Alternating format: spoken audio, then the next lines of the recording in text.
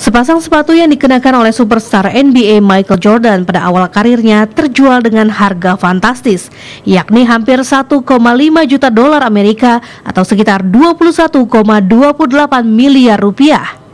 Ini menjadi catatan rekor dalam lelang untuk sepatu yang dikenakan dalam pertandingan. Sepatu yang memiliki corak berwarna merah putih itu dikenakan oleh pemain ikonik tersebut pada pertandingan kelima musim rukinya bersama Chicago Bulls dan merek Nike yang berafiliasi dengan Jordan dengan cepat menjadi populer di dalam maupun di luar lapangan.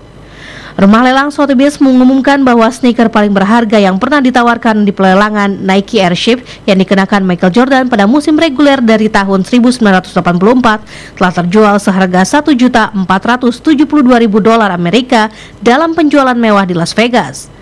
Harga tersebut dengan mudah mengalahkan rekor yang dipegang oleh sepasang Nike Air Jordan yang terjual dengan harga 615.000 dolar Amerika atau sekitar 8,7 miliar rupiah pada Agustus 2020 lalu di rumah lelang Christie.